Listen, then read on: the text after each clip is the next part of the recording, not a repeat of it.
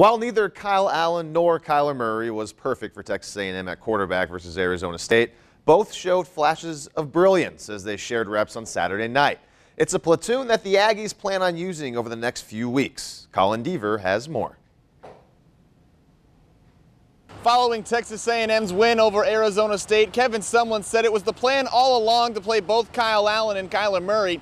Tuesday, he expanded on that topic and was very pleased with how both quarterbacks played. I think what you saw was a, a combination of two things. Number one, uh, the the maturity level uh, of Kyle Allen and how he was handling the situation, but also I think it also had to do with the explanation that uh, you know I've heard the word yanked. He nobody yanked anybody. The the explanation to him was that hey, you're going back in. I think knowing that he was going to have an opportunity to get back in and that that, that was going to happen uh, probably calmed both of them down a little bit.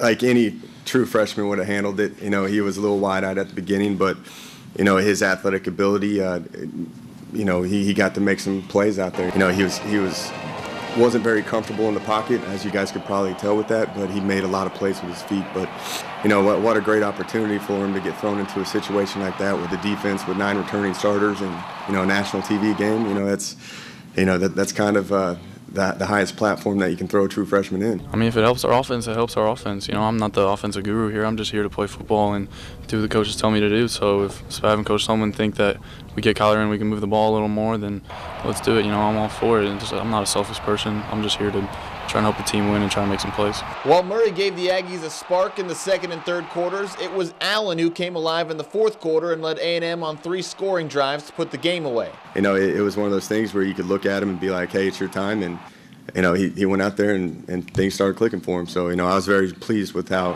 Kyle handled it and the maturity that he had, you know, throughout that whole process. Once I knew there was like a couple plays that we had run earlier in the game that we ran on that series where I knew for sure where I was going to go with the ball, and I was much more confident about it. So I think I kind of figured out their defense by the fourth quarter. On the injury front, Sumlin said that the Aggies hope to get linebacker Otaro Alaka back this week against Ball State, and that the injury running back James White sustained in the first half against the Sun Devils is not considered to be serious. Reporting from Kyle Field, Colin Deaver, KAG Sports.